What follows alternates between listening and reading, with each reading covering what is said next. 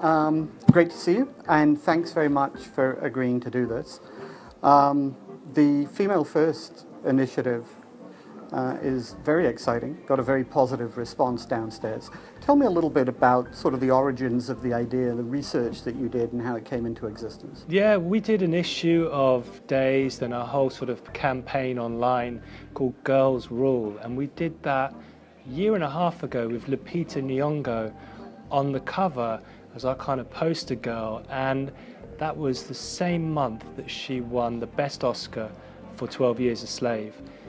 What happened was we started um, doing talks and events around that theme, and one of the kind of key stats that kept popping up was this massive gender disparity. So this issue was around female empowerment, but it was also about the total diversity issue with lesbian, gay, trans, um, and bi rights. And that is so important to our readers, 70% of whom are women, but also, you know, and our viewers online, and also just a topic that is so much in the consciousness of youth. Um, this whole issue of gender diversity is paramount.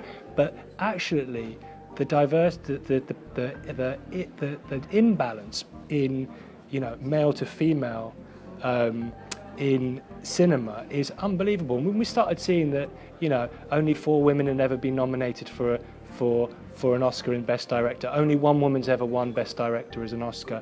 Um, 20, you know, um, 95% of Hollywood directors are men. It's like, hang on a minute, how how how is this not changed? It seems incredibly severe as a statistic. So we started kind of hosting talks at, at film festivals and places like South by um, with directors, but also producers and writers and other people in the industry. And we started looking at surveys and started connecting to the industry. And um, yeah, what we found was that the big kind of barrier, the big kind of cliff face when there was a when the, the the, the drop off was most severe was at first and second feature stage. Um, and there's many cultural reasons why that um, why that was the case. Um, and so, you know, it's been a grassroots initiative for me. It's been something that has kind of on its own steam been happening. My team um, my, my digital team, my, my journalists have kind of been leading it as an investigation and as a question to the industry. And the response has been phenomenal. So it's really been kind of self sustaining as a campaign. And Female Firsts really focused on, on, on, on cinema and film um, out of the whole girls' rule, girls' rule thing. So, you know, we're here today to, t- to say we can't do this alone. We're here today to say, you know, We've taken it this far. There is an incredible amount of goodwill. There's an incredible urgency to create change. There's an incredible passion from our readers and from the industry. More than goodwill, there's a kind of impatience to sort of get this, you know, get this changed. But people don't know how to engage, and we're offering a, you know, a, a way, one way out of what I hope will become many different ways that this will help influencing influence change and, and, and, and cultural diversity. How, how, do you how do you think the absence of women and, and other sort of diverse directors is impacting the kind of stories that get told? Really interesting question. So Sundance Institute did a report on this and they actually did an incredible analytic study on it and they found that male directors will have a massive bias towards having male role models in, in their lead, females vice versa. So you can see just from that statistic um, the different kind of um, stereotypes that end up appearing on the screens. But look, you know, our cinemas and, and the screens, the, the global cinema industry, it's, it's the place where you can have the greatest cultural impact. It's like, you know, it's the most globalized art form, it's the most impactful art form. And there have been great anomalies emerging. You know, there's been there's been powerful female role models in Hunger Games, for instance, or we've seen Elizabeth Banks now with Pitch Perfect 2 smash the record for first opening week of or weekend of, of any film. And those anomalies are brilliant and um, they will lead to change. But I think there's much more endemic, systemic, um, cultural factors which kind of just, you know, don't let women or girls at a very young age see that there is a potential for them both to join the, the, film industry or in the storytelling to be able to relate to a wider range of, of role models for them. Yeah, I mean, I think that, that there are still some statistics out there about how few movies pass the, and forgive me if I butcher this, but I think it's called the Bechdel test, which says that in, in order to appeal to women, a movie has to have two female characters who talk to each other about something other than the male protagonist of the movie.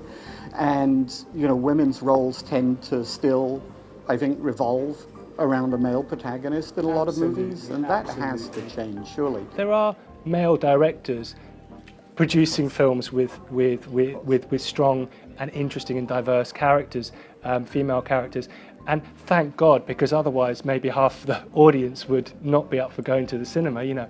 Um, but, you know, that's, that helps. But I think really what we're talking about here is just a massive gender inequality. And, you know, as a, as a publisher and as a, you know, as a, as a father of a 12-year-old daughter, you know, it's just cultural diversity is what DAZED stands for. Um, cultural diversity across all issues relating to gender, relating to ageism, relating to race.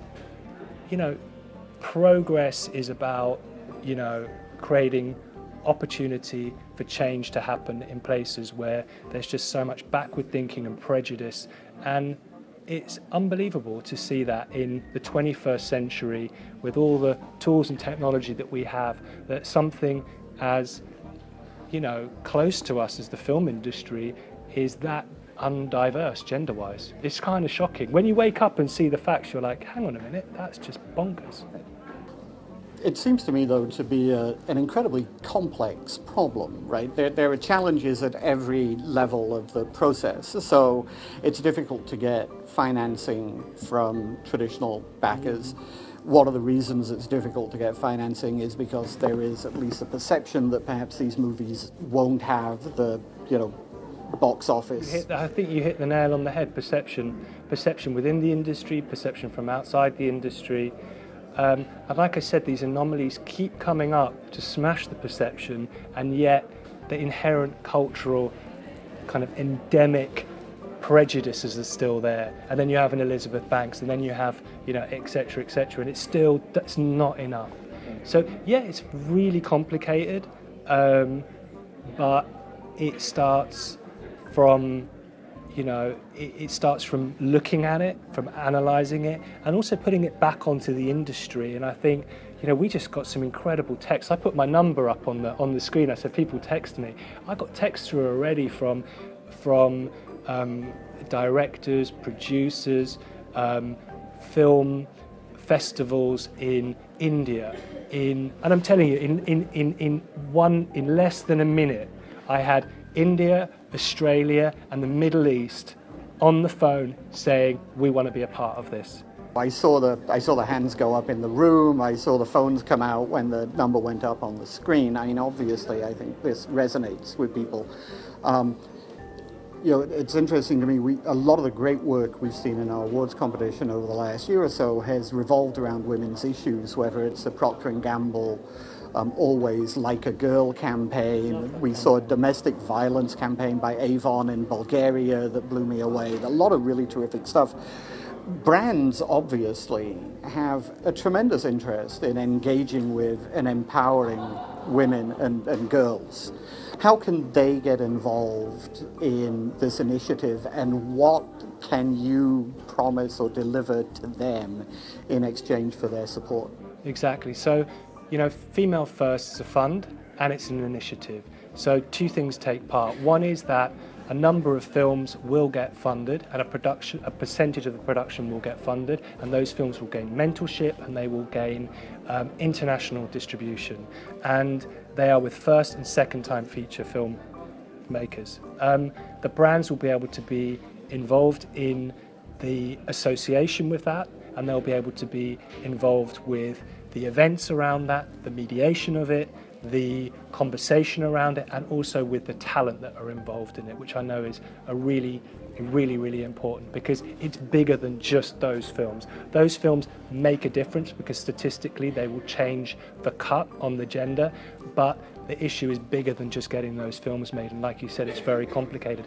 The other thing that we're doing is continuing the um, engagement with um, the you know, with, with, with, with young women who want to be a part of the industry globally. And like I said, in one minute, we've had the Middle East, we've had India, we've had Australia on the phone, and global brands can get involved in being sponsors, partners, being able to bring their expertise, bring their software, their hardware, their um, their you know their infrastructure as well as their money so it's to supporting. Just as a check. No, no, no, no. We're interested in brands that really believe in the long term of this, and brands that we feel obviously, you know, have an alignment and care as passionately as we do. But this is about, you know, I tell you what, the big is the big issue is actually the industry is going to be the hard, it's going to be hardest for the industry to be the game changer because of the of the thing that you said perception. There's a perception within the industry that women can't handle bigger budgets that they can't handle the kind of those things are those things are endemic.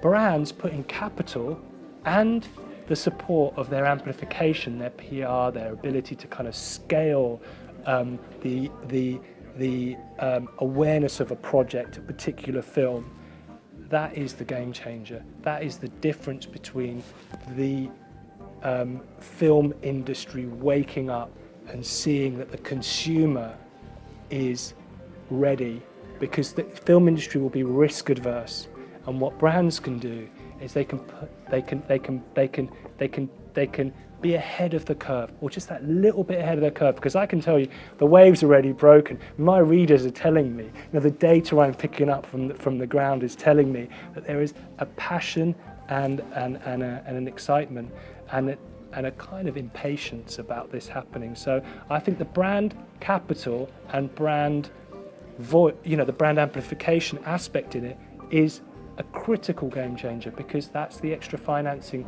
that's needed to put on the table. Put the money on the table and it will change, it will make the industry perception change. They can lead the way in this.